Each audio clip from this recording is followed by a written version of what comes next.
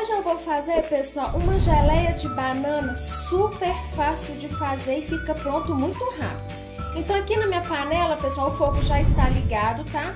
Já coloquei o açúcar, o açúcar já começou a derreter, tá? Então eu vou esperar esse açúcar aqui derreter por completo, tá, pessoal? Para poder estar dando sequência aí é, no preparativo dessa receita de hoje, tá certo? Lembrando que na descrição é, está a quantidade que eu estou usando na receita, tá bom? Então assim que o açúcar dissolver por completo aqui, eu volto. Voltando aqui, pessoal, o açúcar já dissolveu por completo, tá?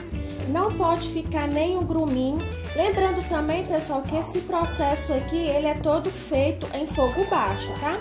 Agora eu vou estar colocando aqui a minha banana, tá? Que já está amassada. Eu amassei essa banana, pessoal, grosseiramente.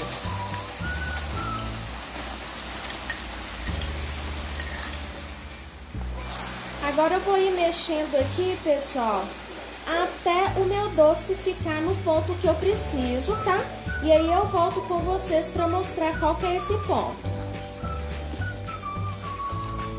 Então, pessoal, voltando aqui, tá? O meu doce que já está no ponto, tá? Esse é o ponto, tá, pessoal? Olha, ele reduziu bem. E também, olha como é que fica no fundo da panela, ó. Tem que ficar dessa forma aqui. Levou, pessoal, aproximadamente 15 minutos, tá? Em fogo baixo, mexendo sem parar, tá? É, como eu falei, pessoal, eu amassei a banana grosseiramente porque eu gosto dos pedacinhos da banana na geleia. Mas se você prefere uma geleia bem lisinha, você pode estar batendo a banana no liquidificador, tá certo? É, eu também, pessoal, estou usando aqui a banana prata, tá? Mas você pode estar usando a banana de sua preferência, tá certo?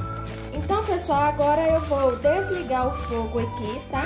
E vou passar a minha geleia para um recipiente de vidro esterilizado. Então, pessoal, já coloquei toda a geleia aqui no pote de vidro, tá? Lembrando também, pessoal, que o pote tem que ter tampa, ok? Então, tá bem quente, eu vou esperar esfriar, assim que tiver frio, eu vou tampar e levar para geladeira, tá? E vou deixar na geladeira lá, pessoal, por aproximadamente umas duas horas, tá? Estar voltando e mostrando para vocês a consistência que fica essa geleia, ok? Ah, pessoal, importante. A durabilidade dessa geleia de banana é de 15 dias conservados na geladeira, ok? Então, pessoal, já já eu volto para estar finalizando com vocês. Então, pessoal, voltando aqui, é, já se passou duas horas, tá, pessoal? E a minha geleia de banana está finalizado com sucesso. Espero que vocês tenham gostado da minha sugestão.